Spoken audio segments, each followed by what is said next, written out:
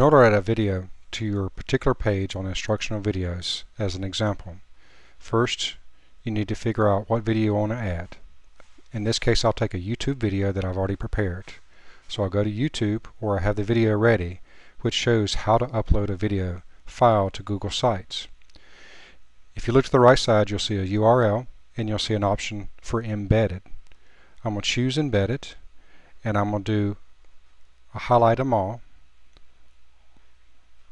or Control A for select all, Control C for copy. Then I'll go back to my tab related to the instructional videos. On Google Sites, I'll click on Edit Page.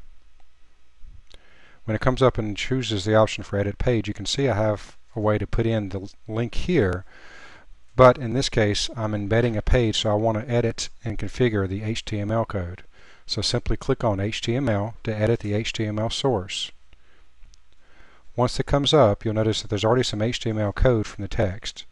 I'll click with my mouse on the bottom end, hit enter, and then I'm going to do a control V for paste, and you can see the value that was pasted inside.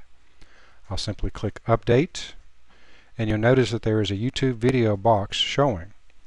In this case I want to add some additional text, so I click once on the box, choose properties, I can see the link for the video and I want to include a title. How to upload a file to Google Sites. I'll hit save. That saved the title to the YouTube video but I still need to go up and save this particular page that I was editing.